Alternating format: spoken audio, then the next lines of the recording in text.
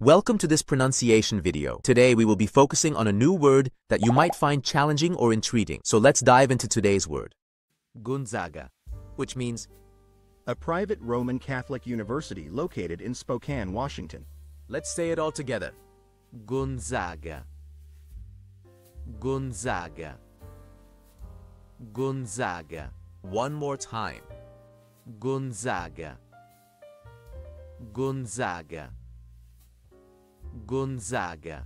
Thank you for joining us on this adventure in pronunciation. Remember, language is a journey, not a destination. Keep exploring, experimenting, and expanding your linguistic horizons. We'll see you next time.